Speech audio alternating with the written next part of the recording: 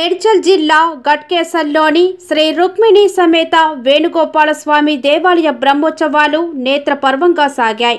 ఈ సందర్భంగా ఆలయ కమిటీ ఆధ్వర్యంలో శనివారం ఆలయాన్ని సుందరంగా పూలమాలలతో అలంకరించిన అనంతరం శ్రీ రుక్మిణి సమేత శ్రీ వేణుగోపాలస్వామి కళ్యాణం అత్యంత వైభవంగా నిర్వహించారు.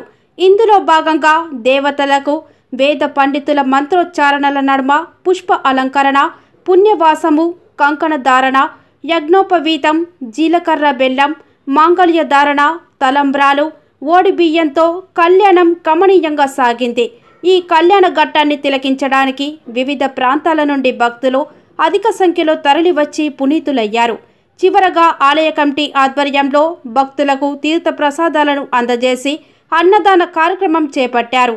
భక్తులకు ఎలాంటి ఇబ్బందులు తలెత్తకుండా ఆలయ కమిటీ సభ్యులు తగిన ఏర్పాట్లు చేశారు.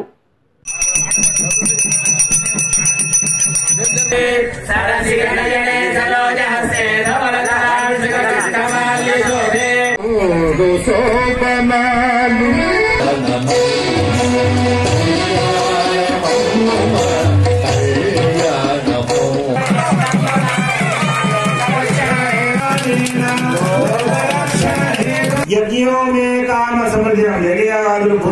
జరగాలి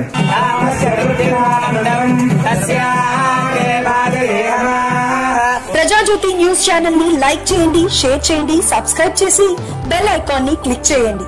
Please subscribe Prajajyothi news.